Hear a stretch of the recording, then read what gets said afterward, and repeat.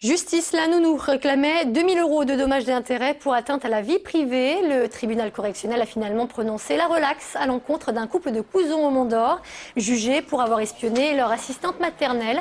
Les faits se sont déroulés en janvier 2011. Ses parents avaient placé un enregistreur dans une peluche pour prouver que la nourrice maltraitait leur fils alors âgé d'un an. Des accusations récusées par ailleurs par la justice. L'avocat de la nounou juge ces décisions décevantes et redoute qu'elle appelle à d'autres dérives. Dorénavant, euh, toute nounou doit s'attendre à ce qu'un jour, les parents déposent, si ce n'est une caméra euh, miniature, du moins un microphone pour s'assurer de la qualité des soins. Et donc, tous les parents ont un, un sauf-conduit, un blanc-seing, pour pouvoir capter, euh, eh bien, de façon clandestine, parce que c'est quand même ça le cœur du débat, les propos qui sont prononcés par la nourrice dans le cadre de sa vie privée stricto sensu.